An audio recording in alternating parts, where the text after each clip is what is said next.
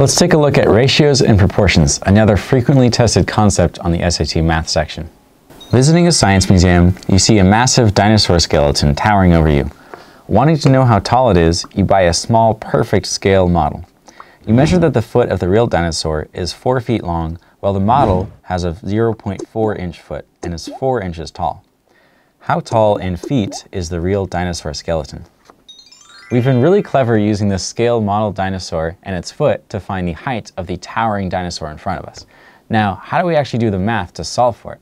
Well, the key here is that everything in the scale model and the real dinosaur scales exactly. So say the foot of the real dinosaur was twice as long as the model dinosaur, then the height of the real one would also be twice the height of the model. So we can use that to find the ratio and then find the height. The way we solve using these ratios is through proportions. A proportion is simply one ratio set equal to another. So to start in building a proportion, we need to make each ratio. And when we build these ratios, the key thing that we need to remember is what we call like over like. So in this case, the feet length of both the scale dinosaur and the real dinosaur are like each other because they measure the same thing. Likewise, the height of the real dinosaur and the scale dinosaur are like each other, so they will make another ratio. So we have one ratio is the feet length of both dinosaurs, and the other is the height of both dinosaurs. And we set those equal to create our proportion. So now that we have our proportion, we just need to plug in the numbers and then solve. So, step by step, the real height is the unknown. That was what we're going to call x. The model height, we're told, is 4 inches.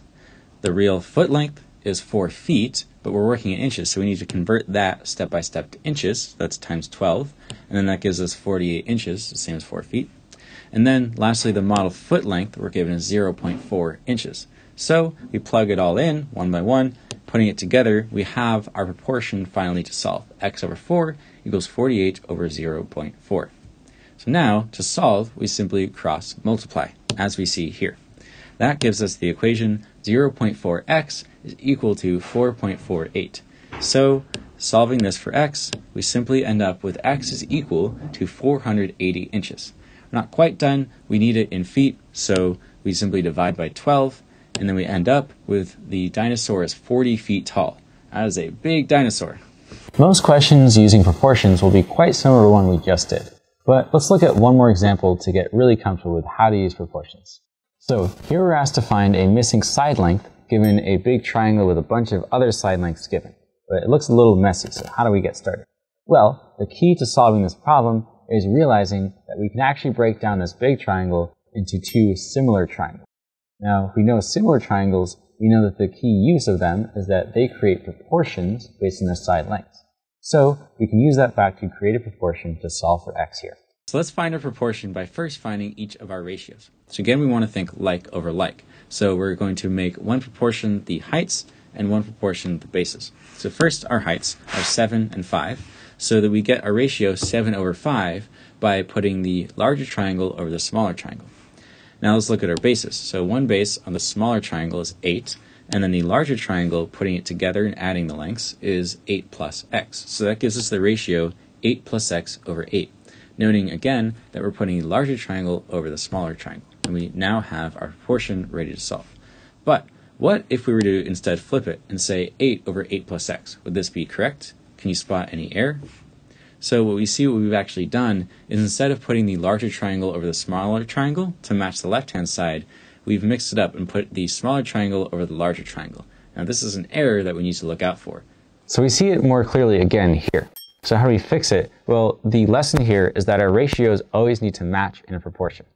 We have like over like, but we also need to follow this model of a over b equals a over b. So in some sense, our numerators need to match in some way, as well as our denominators. And that will give us a proportion that makes sense, and we're able to solve for an answer. This gives us the correct proportion that we saw before. 7 over 5 equals 8 plus x over 8.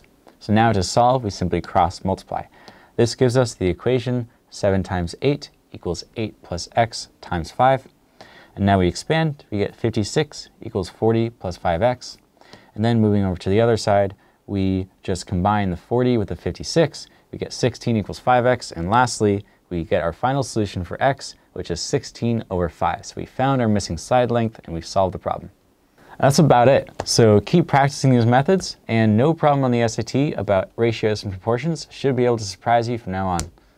Hope you liked the video. If you want to hear more and see what else we're up to, hit like and subscribe and see a new video coming out from Point Avenue every week. If you want to talk to us, hear more about what we're doing, or have any questions, email us contact at pointavenue.com.